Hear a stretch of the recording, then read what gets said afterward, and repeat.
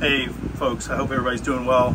Uh, I know I talk a lot about aeration um, and I wanted to show you an example of that. Um, luckily I think I was able to get to this plant in time, but as you can see this real gnarly leaf in front. Uh, this is usually a good sign of a fungal infection.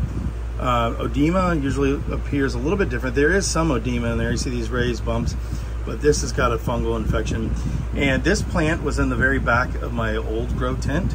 Um, it, let me, let me see if I can show you this.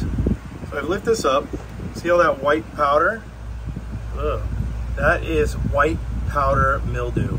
Uh, that will kill your plant and what happens there is because it's not getting enough aeration, uh, as you can see it will grow on the sphagnum moss too.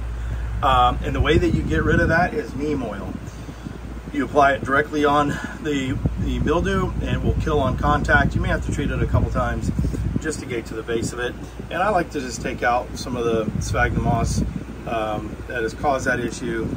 And as you can see, it's pretty pervasive in this. I might give this a, a change of moss just to be on the safe side. But um, yeah, the reason why that happened is because this plant was leaned over this way, so there's no airflow allowed to get in there. And as you can see, if I could use the camera properly, that moss, that white powder mildew is growing in there and on the moss. Now I've put it in front of my fan to help dry that up and I applied uh, neem oil to it yesterday and will continue to do so uh, for a couple more treatments and that should clear it up.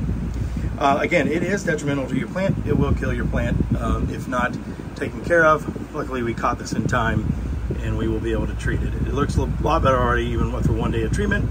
Uh, neem oil, uh, very you can get it at Lowe's. Very, very um, easy going on the plants. I will tell you, it has kind of a pungent smell. It's not too pleasant, uh, so keep that in mind. All right, y'all. Talk to you later.